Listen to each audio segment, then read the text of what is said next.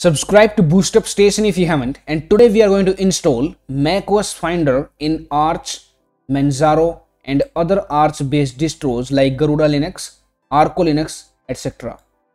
So open the terminal and run this command, copy it and paste it and press enter.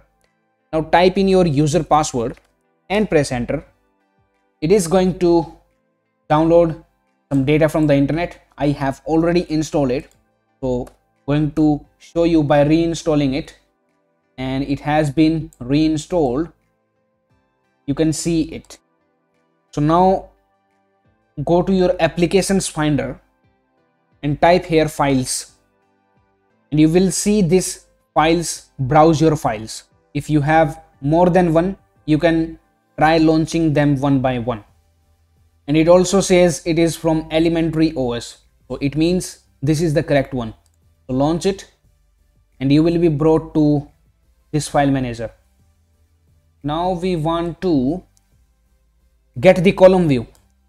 So let me open file system to show you that column view works perfectly fine. And here you see this one. It is as a grid. Then it will show you as a list. And the third option is for columns. So you can go like this one. And let me browse to temp folder. You can see it is opening in the columns. Again it is opening in the columns. Again columns and then again columns.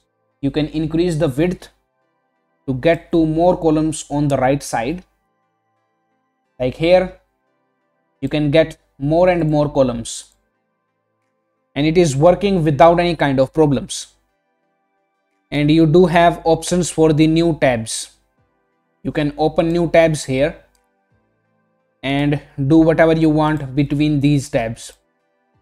So it is a very good file manager which gives you column view like macOS and if you want same macOS like column view for Windows and other Linux distributions like Ubuntu, Kali, MX Linux, Fedora, OpenSUSE, Red Hat and others, you can watch those videos in the description.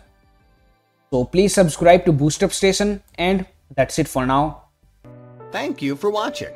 Now it's time to discover more.